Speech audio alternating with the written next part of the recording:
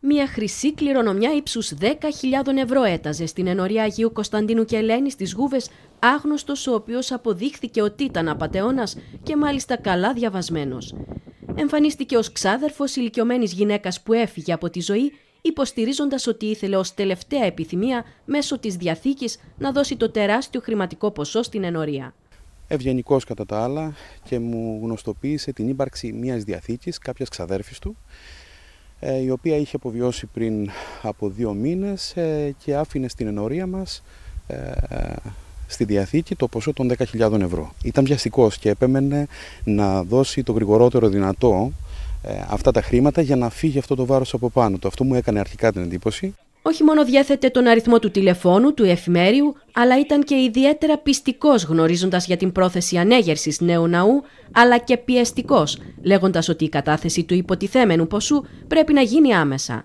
Λογάριαζε όμως χωρίς τον εφημέριο πατέρα Δημήτριο, ο οποίος ευτυχώς υποψιάστηκε άμεσα τις πραγματικές προθέσεις του άνδρα. Επέμενε μάλιστα να ε, βάλει αυτά τα χρήματα σε κάποιο προσωπικό λογαριασμό. Του είπα ότι δεν υπάρχει τέτοια περίπτωση να ε, δεχτούμε χρήματα εμείς σε προσωπικό μας λογαριασμό.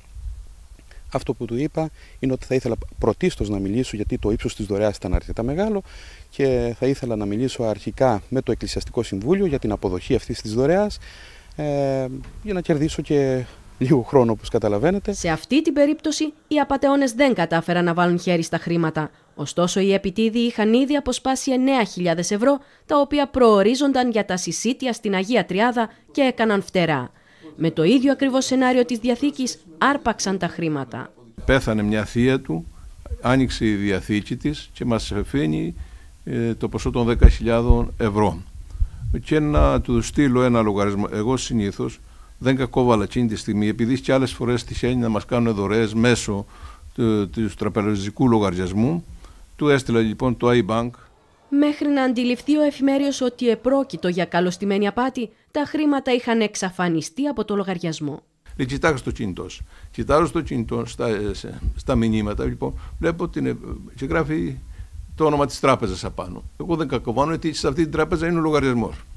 Ανοίγω εκεί και βλέπω εισερχόμενο ε, έμβασμα. Οπότε δεν κακοβάζω, πατάω, έλεγε αν το διαβάσετε το έμβασμα, πατήστε εκεί. Πατάω εκεί, λοιπόν εκεί στο που έδειχνε, μου ζητούσε τους κωδικούς. Μπήκαν αυτοί μέσα και κάνανε τις πράξεις τους, μάλιστα τα καταθέσανε σε τρεις λογαριασμούς, τρία διαφορετικά ονόματα. Στην απάτη εμπλέκονται τουλάχιστον δύο άτομα, ένας άνδρας και μια γυναίκα, ενώ σύμφωνα με πληροφορίες ήδη έχουν καταγραφεί τέσσερις υποθέσεις μέσα σε λίγες ημέρες. Έχω ενημερωθεί βέβαια και από άλλους αδελφούς κληρικούς ότι έχει γίνει απόπειρα εξαπάτησης και σε αυτούς. Εγώ πιστεύω ότι είναι σπήρα. Γιατί εκτός από τον άνδρα που μίλησε στην αρχή, ε, με μιλούσες και με μια γυναίκα μετά. Με έγγραφό της η Ιερά Αρχιεπισκοπή Κρήτης εφιστά την προσοχή των ιερέων για τη δράση των απατεώνων.